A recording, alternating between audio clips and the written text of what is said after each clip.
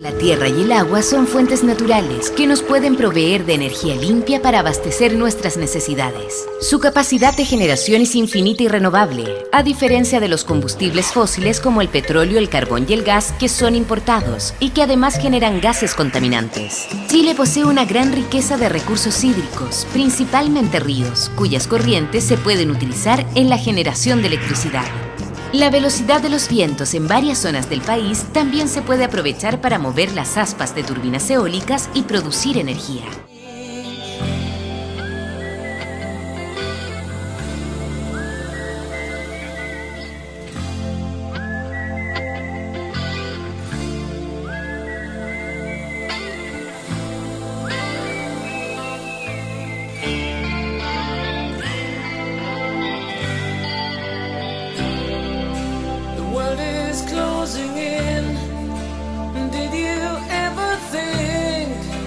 That we could be so close, like brothers? The future's in the air, can feel it everywhere.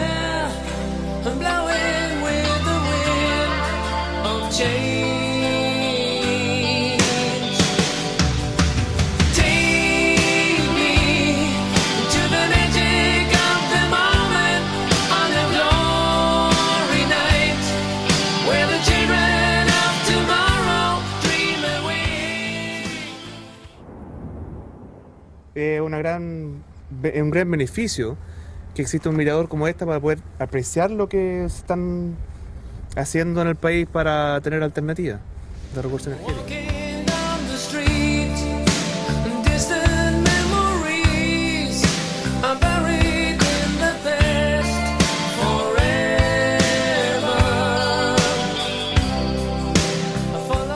Y nuestro plan con la gente que trabaja aquí es que este parque sea un ejemplo para que todo el mundo, cuando tenga alternativas de, inversión, diga, vamos a ir por la energía renovable porque mira, aquí hay un ejemplo.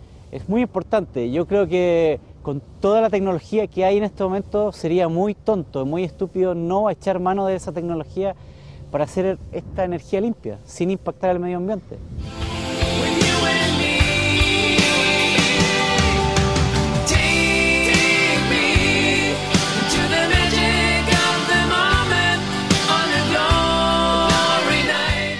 Todo gira a favor para generar electricidad a partir del viento. Gigantes de 100 toneladas y que superan los 140 metros de altura comienzan a levantarse rápidamente en miles de hectáreas de la región de Coquimbo. El primer parque eólico entró en funcionamiento el 2007 en la comuna de Canela con una potencia de 18 megawatts. Y así, nuevos inversionistas aparecieron en el camino. 12 parques eólicos ya tienen permiso para su construcción. Eso significa una capacidad de generación de casi 1000 megawatts y una inversión de casi 2.300 millones de dólares. O sea, nunca en la historia de la región se había visto una inversión privada de esta magnitud. Mucho más que los 9 megawatts que produce la central hidroeléctrica Los Molles, un nuevo giro de la región que llega con la energía cinética del viento. Con estas aspas se convierte en mecánica y así en energía eléctrica.